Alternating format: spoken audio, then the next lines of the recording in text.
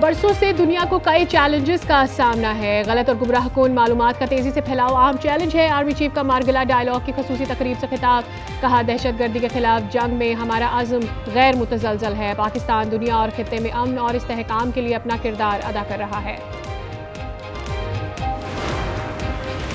लाहौर मुल्तान में smog health emergency नाफिज। जुमा हफ़्ता इतवार मुकम्मल लॉकडाउन का ऐलान। कंस्ट्रक्शन पर एक हफ़्ते के लिए मुकम्मल पाबंदी। हेल्थ डेस्क और अस्पतालों में छुट्टियाँ मनसूख। स्कूल मजीद एक हफ़्ते के लिए बंद। मरियम औरंगज़ेब कहती हैं स्मॉक का मसला हेल्थ क्राइसिस में तब्दील हो चुका है। वज़ीर अला पंजाब मरियम नवाज़ ने स्मॉक की दस साल पॉलिसी लॉन्च कर दी।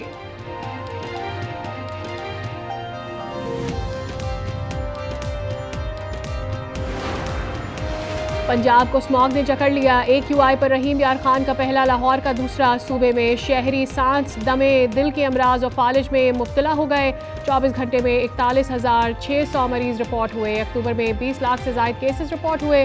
लाहौर में फ़्लाइट ऑपरेशन शदीद मुतासर, कई परवाजें मनसूख मुताद तखीर का शिकार। वजी अजम की अपील पर इस्लामाबाद और लाहौर के मुख्तु मसाजिद में नमाज़ इस्ता अदा।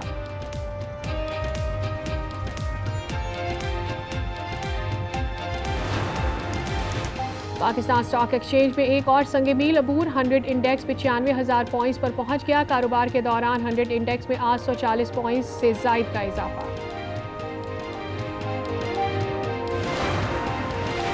एहतजाज की तैयारियाँ, पीटीआई की पेशावर में अहम बैठक, अरकान पंजाब असम्बली रवाना, एहतजाज से मुतल मुशावरत होगी, शेख वकास अक्रम कहते हैं आठ फरवरी को मैंडेट मिला था, अब चौबीस नवंबर को वापस लेंगे मुतालबा तस्लीम होने तक वापस नहीं आएँगे।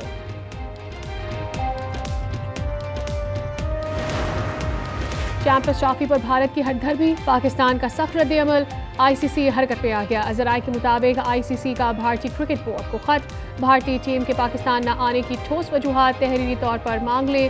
नए तर्जुमान अमरीकी महकमा खारजा कहते हैं चैंपियंस ट्रॉफी पर पाकिस्तान और भारत को आपस में बात करनी चाहिए।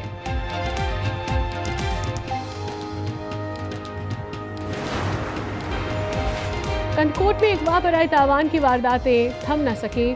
महकमा एंटी करप्शन के हेड मोहर जुल्फ़ार डहानी अगवा हालिया दिनों में अगवा किए गए अफराद की तादाद तेरह हो गई। और बालाई इलाकों में बर्फबारी से हर सू सफ़ेदी, गजर में पहाड़ों की खूबसूरती में इजाफा, देवसाई में चार फिट से जायद बर्फबारी, दर्जा हरारत मनफी बारह से भी गिर गया। जियारत और दर्जा, जियारत में दर्जा हरारत सिफर पर आ गया, यकबस्ता हवाएँ चल पड़ी।